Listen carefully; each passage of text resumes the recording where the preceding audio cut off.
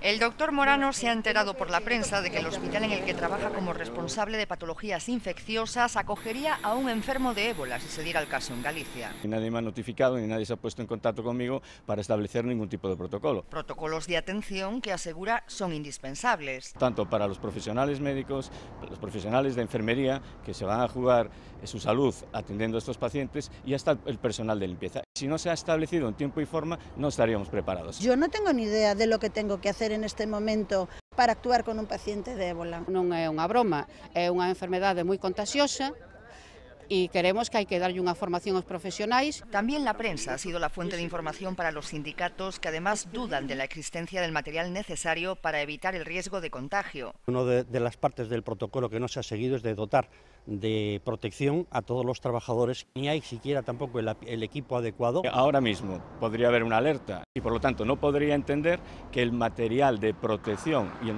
y, y los medios de transporte adecuados para un caso parecido al del padre Pajares no estén disponibles. Y si estas cosas no se han hecho correctamente, evidentemente se está vendiendo humo.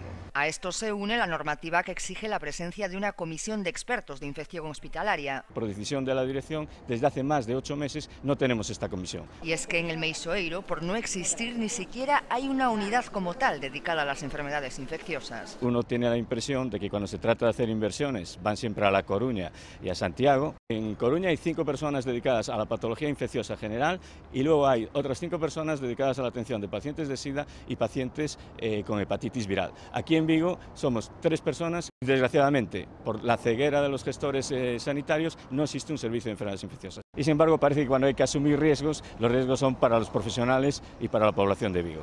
Un riesgo que a pesar de estas insuficiencias el doctor Morano asumiría al ser el facultativo designado para atender a este tipo de pacientes.